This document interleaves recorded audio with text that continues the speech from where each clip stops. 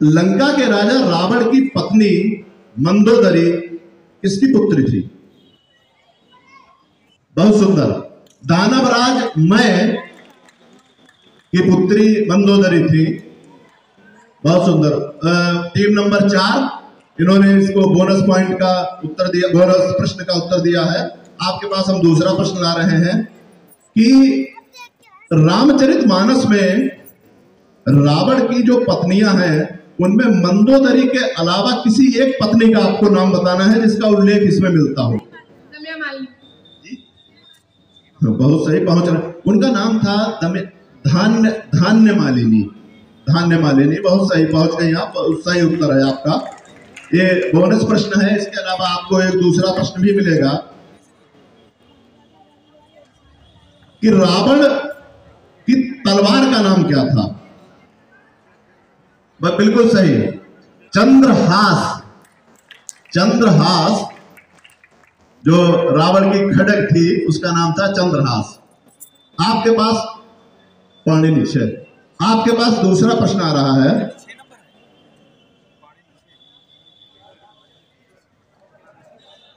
रावण की जो चंद्रहास खड़क थी, वो रावण को किसने दी थी? भगवान शिव ने दी थी। बिल्कुल सही जवाब। बिल्कुल सही जवाब। आप इनको दे दीजिए। रावण के किन्हीं छह पुत्रों के नाम बताइए। मेघनाथ मेघनाथ अक्षय कुमार देवांतर कृष्णा निरांतक अतिकाय। नाम उसका अपभ्रंश हो रहा है। सही है बिल्कुल छह तक बहुत बढ़िया पहुँची हो। हाँ। हाँ बहुत बढ़िया और बढ़िया और बढ़िया। आपको बताना है कि भगवान राम के धनुष का नाम। उन्होंने युद्ध किया था रावण को मारा था।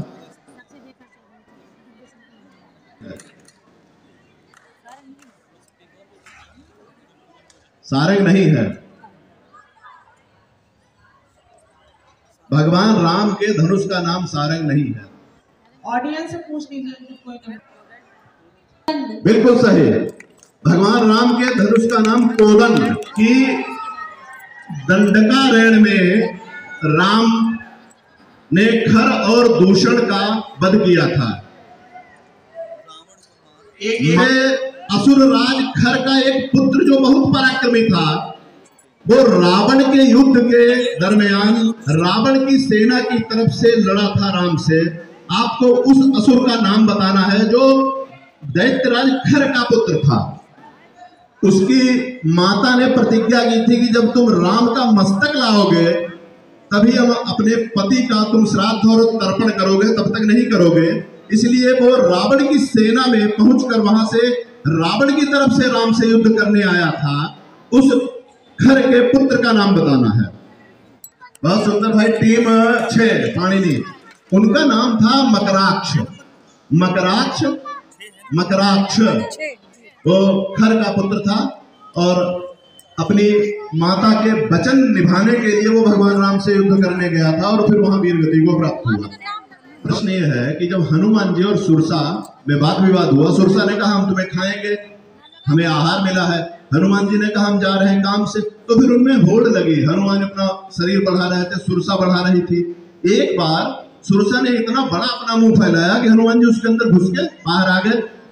तो बताना यह है रामचरितमानस में चौपाई है कि उसने अपने मुख का आकार कितना बड़ा किया था?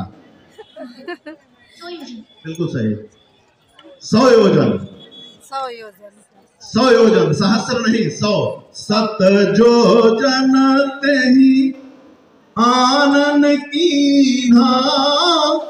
अति लघु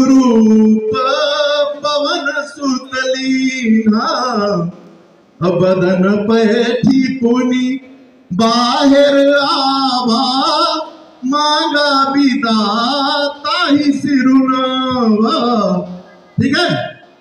अगला प्रश्न हमारा आपके पास।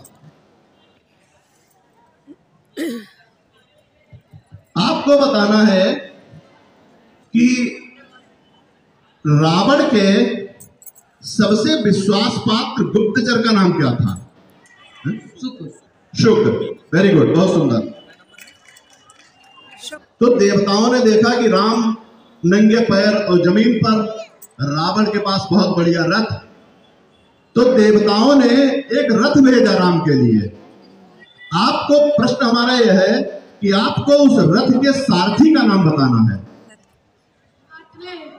बहुत सुंदर। टीम नंबर, चार। रथ सारथी का नाम था मातली मातली। ठीक है? ये भगवान इंद्र के सारथी थे।